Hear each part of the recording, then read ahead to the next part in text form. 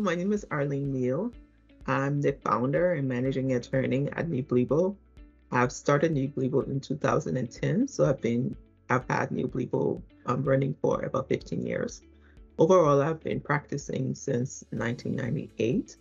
Um, I started at a small practice and then I went to a larger law firm. So my experience spans, you know, small, large, and now um. I would say entrepreneurial um, practice. So, yeah, that's who I am. What obstacles have you faced while getting into law or starting your own firm due to your race or background? I remember when I first started, I was very conscious of my accent, and um, because I did not grow up in the U.S., so I was very conscious of when I spoke how I sounded.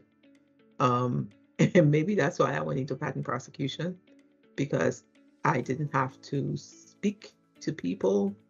Um, and I remember one of my first mentors, I thought we had a really great relationship when he was mentoring me. And then I got a, another position, which, you know, I told him that I was leaving the state and I was moving to DC area. And, you know, and so I told the new um, firm that they could call him.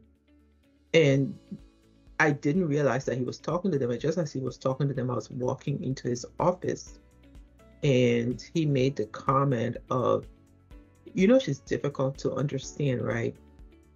And that really like shocked me because I didn't expect that he would he would go there. but you know, and I think that made me even more conscious of the way I sounded, um, particularly in the pro- professional setting.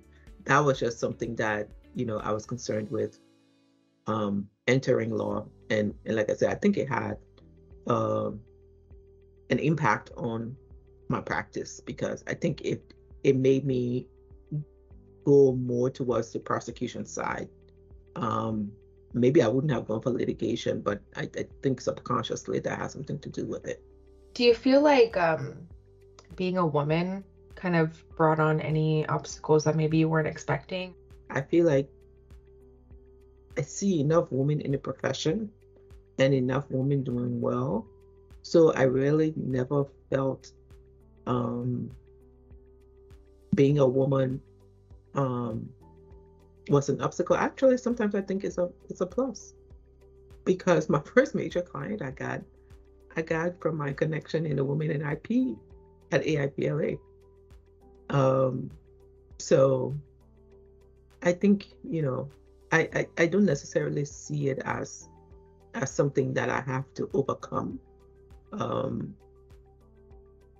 I know the profession is is mostly male and mostly primarily white male, but I think there's sufficient numbers in as far as women that we can help each other out if we choose to. What piece of advice would you give to others who want to follow this type of career path? Um, I think from the time I started working as an attorney, I um, I think my spirit is really entrepreneurial.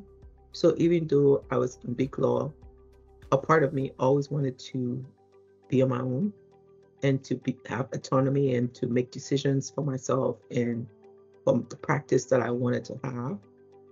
And I have not regretted it. I actually love it.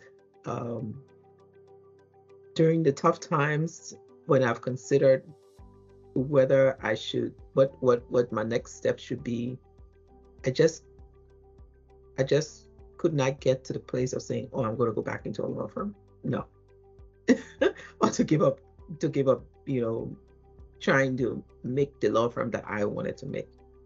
So, if that's something somebody coming up wants to do, um, I would say definitely go for it. I think um, I would say get trained um, wherever you get the training, whether it's from a small firm or a large firm or whatever. But once you feel like you have the training and you can do the work, you know, understand all the different aspects of business, understand that sometimes you will have to do the secretary work, so you need to know how to do everything. I think it's like in any small business, right? Small business people, you have to have wear many hats. And sometimes you can hand those hats over, and then sometimes you have to put them on and do the work yourself. Um, but I think that's the fun of it. That's the that's the thing that makes it great.